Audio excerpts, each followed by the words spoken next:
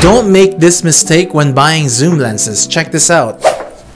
So what I have here is that I have a variable aperture zoom lens and I have a fixed aperture zoom lens. You need to be able to tell the difference between the two so that you will know which is the right zoom lens is right for you. But before we get to the differences between these two lenses, let's first talk about aperture. So what exactly is aperture? Well, aperture is the opening of the lens in which light is able to pass through to get to your camera sensor and the effect that it does to your photo is what's called the depth of field. Without getting too technical over here, in layman's terms, it talks about about those blurry backgrounds that you can see from photos and videos. To put it into basic terms, when it comes to aperture, the lower number that you have, it means that there's a bigger opening or wider opening in your lens, you're letting more light in, and you have more of the blur effect in your photos or videos. And then it goes the opposite when you have a bigger number on your aperture.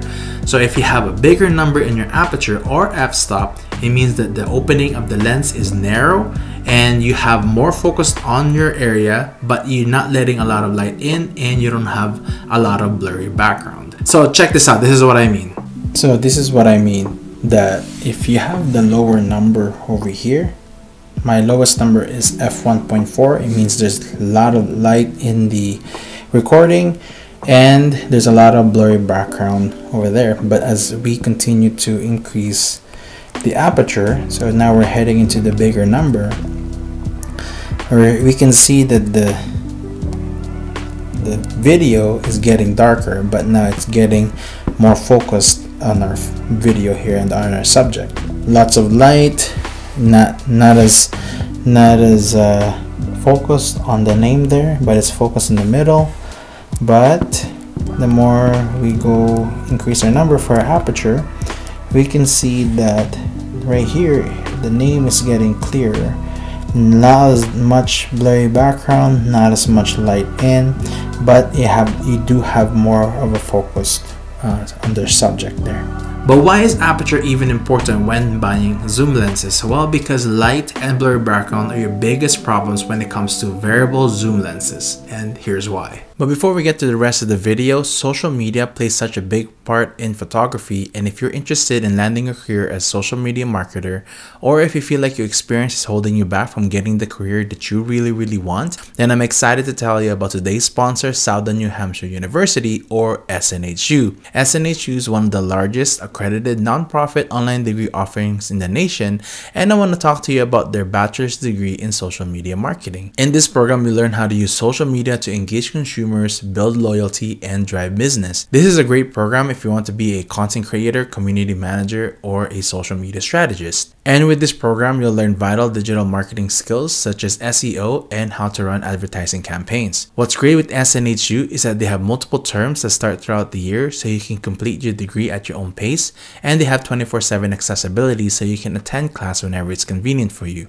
What's also great with SNHU is they have one of the lowest rates in the nation, so you cannot really go wrong with SNHU. So use my link snhu.edu slash Timotheo and the link is also in the description below where you can find free information regarding the bachelor's degree in social media marketing. When you press that free information, a real person will hop on a call and discuss how the program will benefit you personally. So to help out this channel, use my link snhu.edu slash Timotheo and the link again is in the description below where you can find free information regarding the bachelor's degree in social media marketing.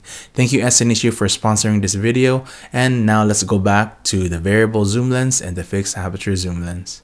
So this is a variable zoom lens which means that as you zoom in, the aperture or f-stop changes as well. From the numbers over here, it says that it starts at f4.5 at 55mm focal length and once you get to the 210mm focal length, your ending f-stop is at 6.3. And because of what we know about aperture, that means that as you zoom in, you're also not letting more light and you're also losing the blurry background effect. And if you've been taking photos for a while, this can be quite annoying. Because when it comes to variable zoom lenses, the settings that you start with isn't going to be the same when you zoom in and they can cause issues with your exposure and what kind of photos that you're trying to achieve. Now why are these lenses available to buy anyways? Well for two reasons and the first one is that variable zoom lenses are typically lighter than the fixed aperture zoom lenses because of the construction of the lens and once again it's because of the construction of the lens. The second reason is that the variable zoom lenses are typically a lot cheaper than fixed aperture zoom lenses.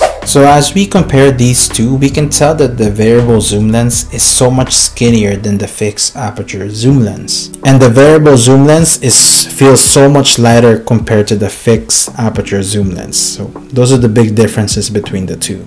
Now we're not going to go in depth with fixed aperture zoom lenses because basically whatever the variable zoom lens is unable to do, the fixed aperture zoom lens is able to do. So by specs, capability, and practicality, the fixed aperture zoom lens is the way to go but is that always the case? The problem with fixed aperture zoom lenses is that they're typically expensive. Depending on what kind of zoom lens that you want to get, they typically range from $1,000 to $3,000 Canadian and for an average consumer that is very expensive for one lens. So if budget is in your consideration on what kind of zoom lens that you want to get, variable zoom lenses can be an option because of how expensive fixed aperture zoom lenses can be. Second, it really depends on what you want to use the lens for. If you want to shoot wildlife during the day and you have plenty of lighting around you, you can probably get away with variable zoom lenses because you don't have to worry about lighting. You typically don't want to use a variable zoom lens in low light situations. Now, it is not impossible for sure, but at the same time, it's not really practical. And it can be an advantage for you if you use a variable zoom lens when you shoot wildlife because as you zoom in, your f-stop increases, which means lessening the depth of field and it leads to a more focused photo compared to fixed aperture zoom lenses where you can have trouble focusing on your subject. The problem with variable zoom lenses, right, is that when you zoom in, your aperture changes, which means it leads to less light. So when you're photographing uh, wildlife, sometimes it takes a while for you to take a photo with variable zoom lenses. Now, stick around because later in this video, I'm gonna show you how you can fix that uh, how you can shoot faster wildlife with a variable zoom lens. So stick around for that. Now, if you're going to use a zoom lens where you need to have constant aperture because the, let's say the lighting is limited in the area, or you need to capture shallow depth of field moments such as in weddings or sports, then the fixed aperture zoom lens is the way to go. So it all comes back to what are you going to use this lens for? But if you want to know my opinion, I believe that fixed aperture zoom lens are more practical and the way to go. But that doesn't mean that variable zoom lens have no place in photography. In fact, there are some cases where variable zoom lenses can be an advantage for you, so check this out. All you need to do is set your camera into manual mode. First, set up your shutter speed and a good rule of thumb is to set your shutter speed to 1 over 200 to 1 over 500 to minimize any camera shakes and it leads to a good sharp photo. Then set your ISO to auto. Because your aperture varies as you zoom in, the camera will adjust your ISO for you so you will have a proper exposed photo. So my overall thoughts is that fixed aperture zoom lenses are the way to go. If you have the budget to buy a fixed aperture zoom lens, I believe that you should go for it. But if you don't have the budget for those kinds of lenses, then variable zoom lenses can be an option for you. Just remember that there's limitations to these lenses, but you can still create great photos with a variable zoom lens. Now click here to see why the Tamron 17 to 70 is the best lens and one lens that can do it all for both photos and videos. See you in the next video.